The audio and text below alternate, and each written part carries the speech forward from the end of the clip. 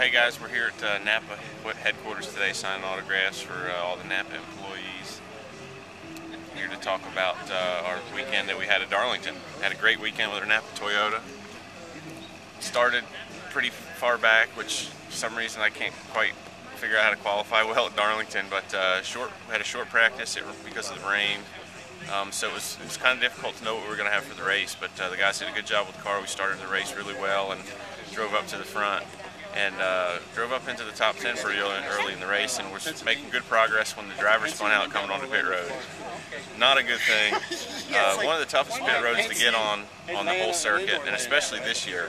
Um, the track has changed considerably uh, the last few years. You know, it has been repaved a few years ago, and so it's losing grip each year. And this year was took a really big step from last year to this year as far as how much grip it lost. And uh, of course, the tire was different too. So really slick coming on pit road. I screwed up, made a mistake, tried to get too much. Um, I was actually catching the leaders, trying to make up time. And uh, easiest way to make up time is to beat them getting on pit road. But it's risk versus reward. You know, you can risk it and uh, really hurt yourself, which we did. We ended up losing a lap because of it. And uh, I, it was pretty disappointing. I was pretty mad at myself. I actually almost fired myself. So it, uh, glad glad we were able to overcome it. We came back, finished top 10. Uh, we had a really strong car. Like I said, it was a great run for us, and uh, was glad to get out of there uh, with a good finish after the past few weeks the way they went. So this weekend we're coming up, going to Dover, obviously one of my favorite tracks where I won my first uh, Sprint Cup race.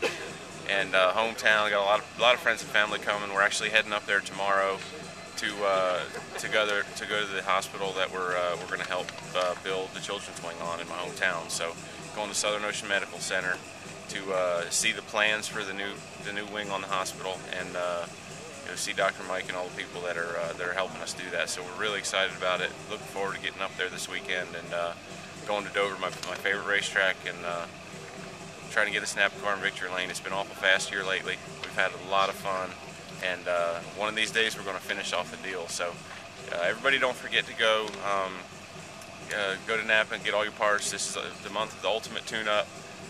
You can earn up to $75 back on a on your Visa rebate cards and uh, if you get your car tuned up, it'll pay for itself within a few weeks.